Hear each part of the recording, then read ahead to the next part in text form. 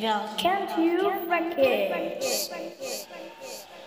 Hi friends, my name is Sainath. Today I am going to share information about the Siddi tribe. This information is about the South Asian ethnic group. The Siddi, also known as Habshi, inhabiting India and Pakistan. The first Siddis are thought to have arrived in India in 628 AD at the Bharuch fort, Delhi Sultanate period prior to rise of Mughals in India.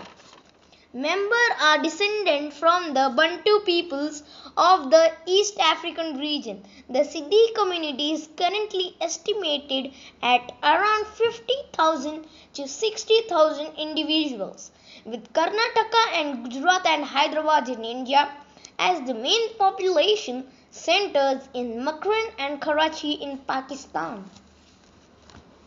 Siddis are primarily Muslims, although some are Hindus and others belong to the Catholic Church.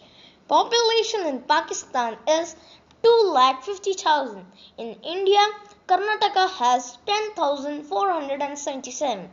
In India, Gujarat has 8,661. Daman and Diu has 193. Goa has 183. If you like my video, Please subscribe our channel and click on the bell icon